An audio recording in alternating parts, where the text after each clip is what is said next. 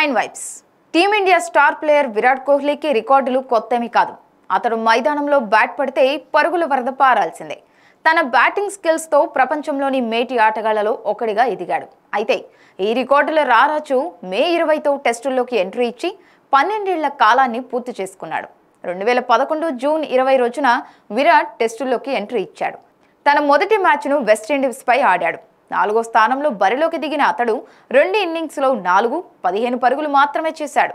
అయితే తాజాగా తన అరంగేట్ర రోజును గుర్తు చేసుకుంటూ సోషల్ మీడియాలో ఓ పోస్ట్ పెట్టాడు. ఈ రోజుతో నా టెస్ట్ కెరీర్కు పన్నెండేళ్ళు. టీమిండియాకు ఆడడాన్ని ఎప్పుడు గర్వంగా భావిస్తాను అని క్యాప్షన్ రాసుకొచ్చాడు. ప్రస్తుతం ఈ పోస్ట్ సోషల్ మీడియాలో తెగ వైరల్ అవుతోంది. అభిమానులకు అతడికి అభినందనలు తెలుపుతూ క్రికెట్లో అతడు సాధించిన రికార్డులను గుర్తు చేసుకుంటూ కామెంట్లు పెడుతున్నారు.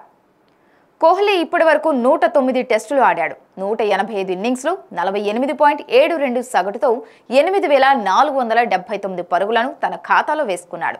అందులో పదకొండు నాటౌట్లు ఉన్నాయి. అతడి అత్యధిక వ్యక్తిగత స్కోరు రెండు వందల యాభై నాలుగు నాటౌట్ ఇరవై ఎనిమిది సెంచరీలు బాదాడు. ఇరవై ఎనిమిది హాఫ్ సెంచరీలు కొట్టాడు. అలానే ఏడు సార్లు డబుల్ సెంచరీలను తన ఖాతాలో వేసుకున్నాడు. ఇరవై నాలుగు సిక్స్లు తొమ్మిది వందల యాభై ఫోర్లు బాదాడు. నూట పది క్యాచ్లను పట్టాడు. కెప్టెన్గా నలభై మ్యాచ్లు గెలిచాడు.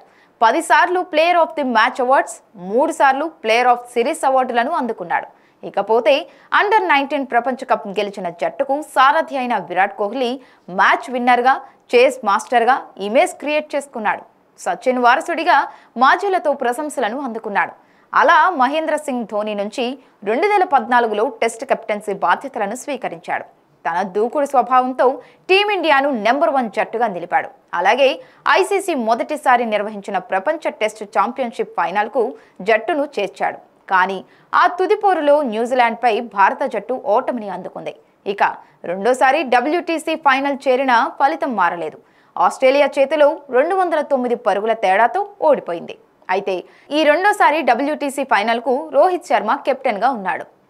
ఈ వీడియో కనుక మీకు నచ్చినట్టయితే లైక్ చేయండి షేర్ చేయండి కమెంట్ చేయండి. మరిన్ని స్పోర్ట్స్ అప్డేట్స్ కోసం మా ఛానల్ను సబ్స్క్రైబ్ చేసుకోండి.